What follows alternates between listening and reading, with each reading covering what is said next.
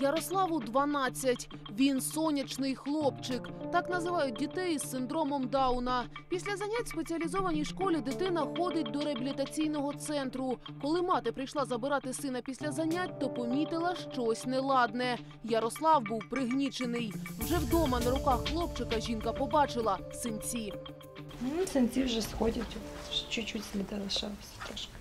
Наступного дня батьки повели Ярослава до лікарні, аби зафіксувати побої. Кажуть, це вже друга неприємна історія, пов'язана з реабілітаційним центром. Минулого року дитина повернулася додому з занять зі зламаною рукою.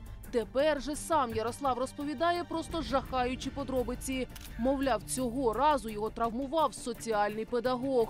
Коли ж розлючені батьки вирішили поговорити з учителем, той, попри очікування, нічого не став заперечувати. Сказав, що він не хотів виходити з басейну з, з шариками при, після закінчення вже заняття. Він його взяв за руки, е, підняв його. Я, в принципі, не знаю, як, як е, в принципі, можна було стиснути ті руки, щоб синяки якісь лишилися. Та щойно родина написала заяву до поліції, як посипалися погрози.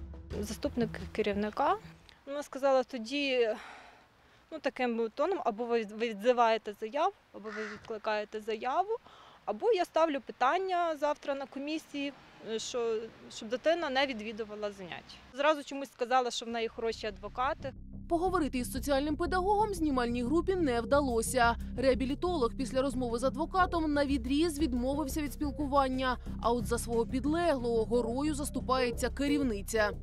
Я мушу сказати, що це е, спеціаліст, який, е, якому я вповні довіряю. Я не маю підстав сумніватися в тому, е, що він якось не, некоректно повів себе щодо дитини. А ви можете зірватися? Я теж. Всі можуть зірватися.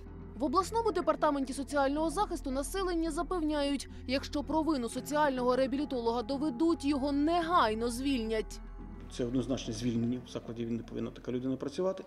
І наступне закон передбачає кримінальну відповідальність за такі вчинки. Зараз обидві конфліктуючі сторони чекають на вердикт поліції. Саме правоохоронці мають вирішити подальшу долю педагога.